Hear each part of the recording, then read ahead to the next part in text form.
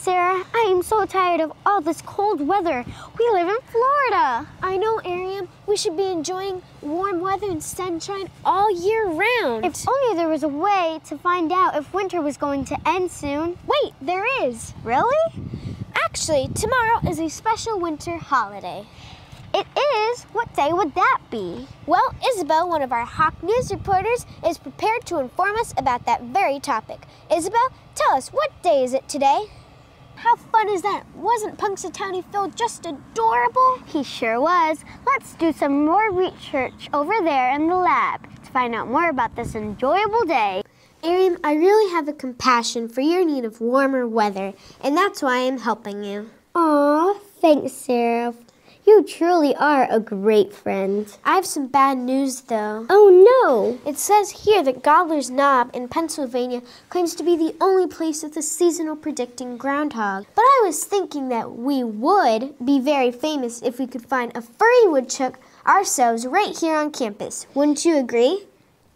Maybe they would turn out to be cousins and can give us a hint about this winter season. Getting back to our research hawks, we have discovered that groundhogs or woodchucks do not live in Florida. Sadly, no. They prefer cooler parts of the country like New England, the Midwest, and parts of Canada. Ariam, you might not be able to find a groundhog to predict the weather, but we can definitely ask some of our Horizons hawks.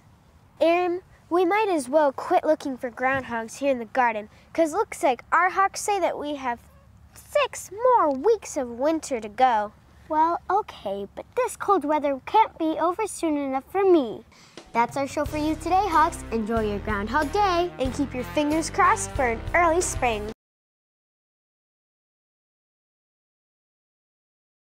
Some of you might not know this, but February is National Heart Awareness Month. That's right, Ariam. It is our heartfelt goal to get the word out to you Hawks about how to love your heart.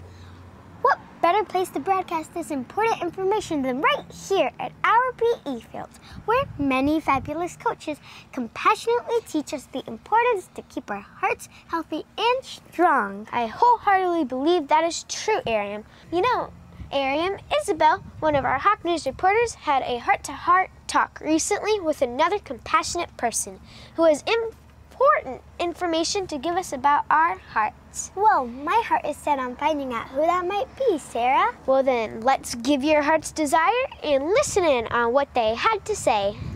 I especially enjoyed the part about exercises and how they increase your heartbeat.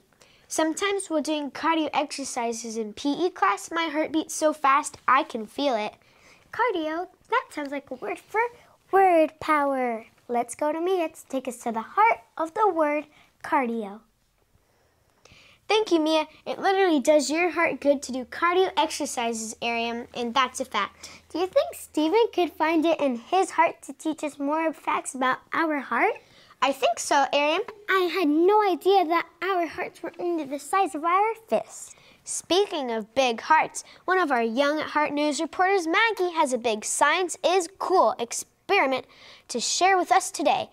They all had their hearts in the right places. Ariam, I wish I could jump rope like that. Well, eat your heart out, Sarah. Maybe someday you will be able to. Here, Sarah, have a heart for Valentine's Day. Aw, thank you, Ariam. I'll keep it close to my heart. Here's my heartfelt Valentine wish for you too, Ariam. Aw, thank you. But let's not spoil our lunch. Speaking of lunch, get ahead of yourself, Ariam. I think at least four will do.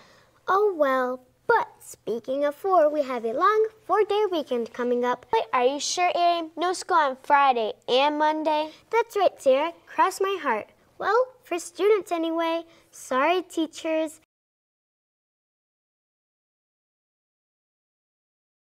Congratulations, Hawks, because today is our day. We're off to a great segments. We're off and away to our fabulous news show we filmed just for you. Hawks, you might be wondering why our Hawk News Show might be sounding different today. That's because today is a special day. Yes! Happy birthday, Dr. Seuss! Can you believe that Dr. Seuss didn't give up after being rejected 27 times? I know! That is amazing! I guess we can learn a lesson from his perseverance. I'm so glad he never gave up because I love his book so much. I especially love the way he uses words to create new worlds. Sloths are very fascinating creatures. Speaking of fascinating creatures, that reminds me of one of my favorite Dr. Seuss books, If In a Zoo. Oh, yes, I love that book too. So, I guess we can be reckless troublemakers and stir some fun up. Well, let's not get carried away. We don't want to misbehave. We should stay safe. That's our show for you today, Hawks. We will leave you with one more quote from Dr. Seuss. Don't cry because it's over. Smile because it happened. Have a great day, Hawks.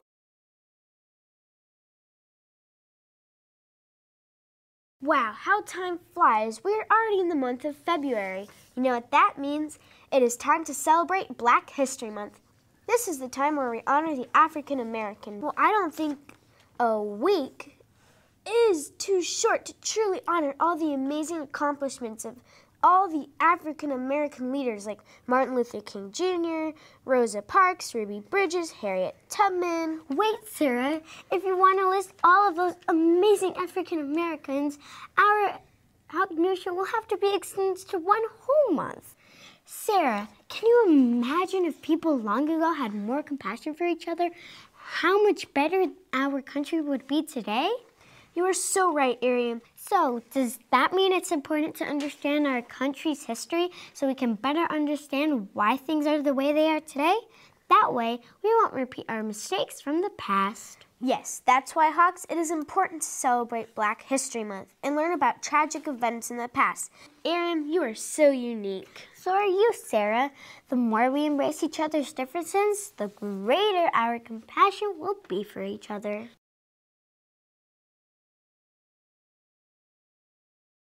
Today we are traveling to Mexico.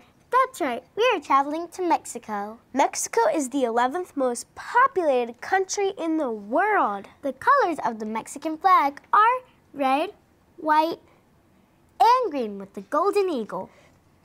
Mexico's national flower is the Dahlia pinnata. One of the colors is pink, but isn't the most common color for a Dahlia pinnata. The eastern and northern side of Mexico has mountains. Speaking of mountains, the highest mountain in Mexico is the Pico de Orizaba. Puebla is the fourth largest city in Mexico. It offers some of the most unique foods and drinks. The next time you think of, an, of going on an exciting adventure, think of Mexico.